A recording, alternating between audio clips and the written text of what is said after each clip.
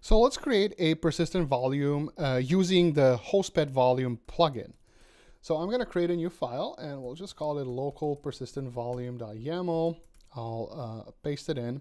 So what we're doing with this resource is that we're trying to allocate five GB bytes of storage on the Kubernetes node in the folder mount data.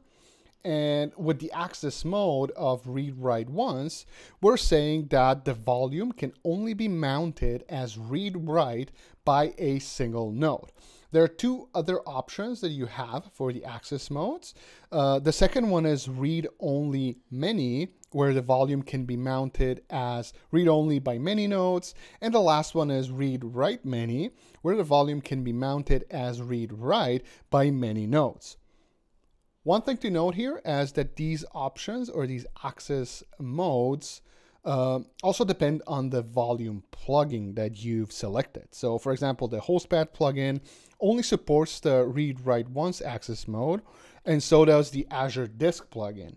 However, uh, let's say Azure File or GlusterFS and a couple of other plugins support all three access modes.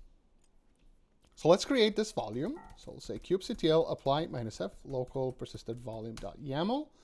And if we list this kubectl get uh, pv, you'll see that there's the capacity, the access mode, the reclaim policy. Now, the reclaim policy of retain uh, means that the Kubernetes will retain the data and it's going to be up to the Kubernetes administrator to reclaim the space manually.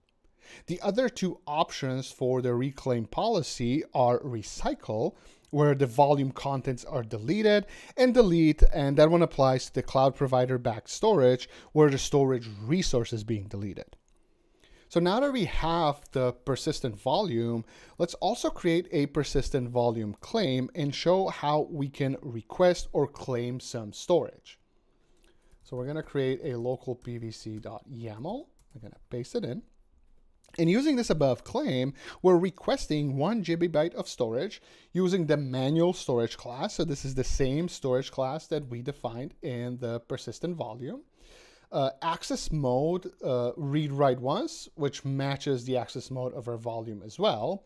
Uh, and this means that this persistent volume claim should get bound to the volume that we created earlier.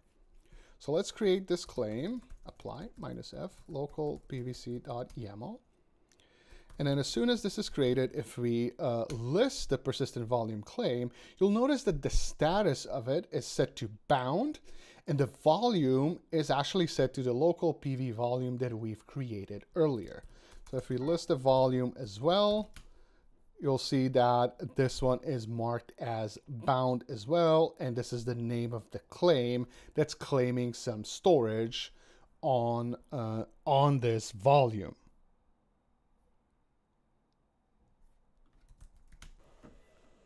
Before we create a pod that consumes this volume, let's create a file in the mount data folder on the host.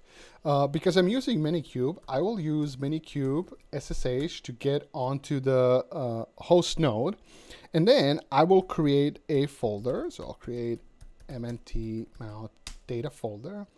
And then inside this folder, I want to create index.html file uh, with some content. So let's just say hello storage, storage, and then we'll pipe this into mnt data index index.html file and run the whole thing as sudo.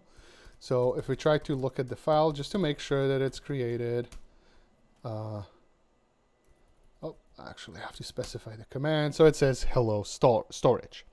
Now with this created, so we have something on the volume. So this is just, we're simulating some file on the volume.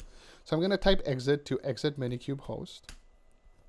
And the next thing that we'll do is I'll create a pod that actually consumes this volume and uses this persistent volume claim. So let's create a new file and let's just call it pvpod.yaml and I'll paste the YAML in here. So what we're doing here is we're referring to the persistent volume claim under the volumes. So we're calling the volume uh, PV storage, and then we're saying this is the claim that we, uh, this is the claim that uses or claimed that uh, storage or that piece of volume.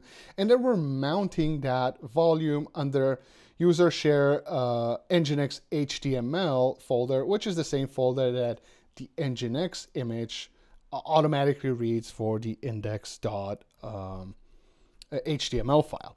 So let's create this pod. So kubectl apply pv pod.yaml. So the pod is created. Let's just make sure that it's there. Okay, it's gonna take a while. It's probably pulling the image. So it might, might take a little while. So what we're trying to do here is we're trying to check if the volume was actually mounted correctly. So to check that, what we're gonna do is uh, we're just gonna run the port forward. So in the meantime, the pod is up and running.